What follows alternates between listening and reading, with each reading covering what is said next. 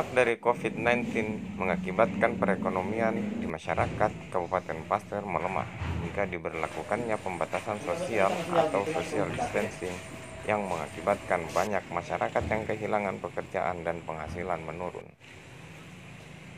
Pasangan bakal calon bupati dan wakil bupati Kabupaten Pasir Haji Iwan Datu Adam dan Haja Ridawati Ridwan Swidi bergerak merespon kondisi ini dengan membagikan takjil dan paket lebaran bagi masyarakat yang terdampak dari pandemi COVID-19 yang ada di wilayah Kabupaten Pasir.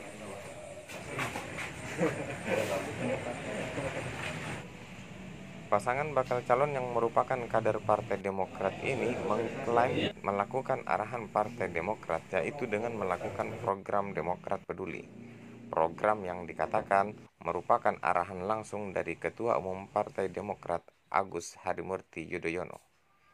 Program ini dilaksanakan khususnya dalam rangka menyambut Hari Raya Idul Fitri dalam membantu masyarakat terdampak dengan meringankan beban yang ada di masyarakat pada saat ini, khususnya pada saat pandemi COVID-19.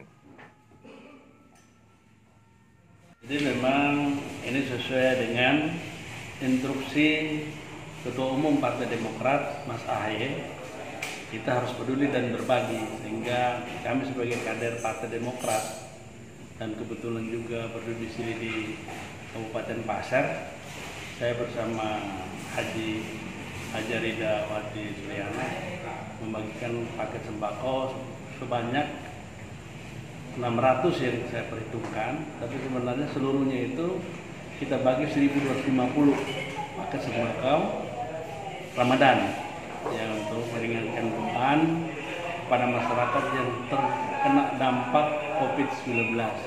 Mudah-mudahan dengan pemberian sembako ini, paket sembako ini meringankan beban kepada saudara-saudara kita, masyarakat kita yang betul-betul berhak menerimanya.